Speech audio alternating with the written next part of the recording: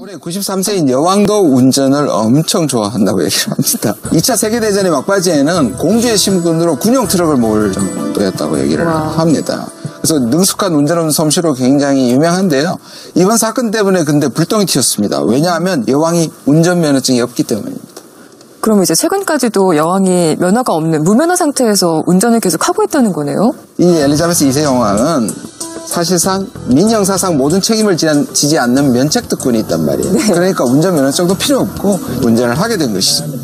아무리 그렇다고 해도 필립 공과 엘리자베스 2세 여왕의 고령인데 운전을 한다는 것이 저는 굉장히 걱정이 돼요. 왜냐하면 한국에서도 7, 80대 운전자들이 사고를 많이 내기 때문에 뭐 적성 검사 이런 것들을 좀 강화해야 된다라는 목소리가 굉장히 높잖아요.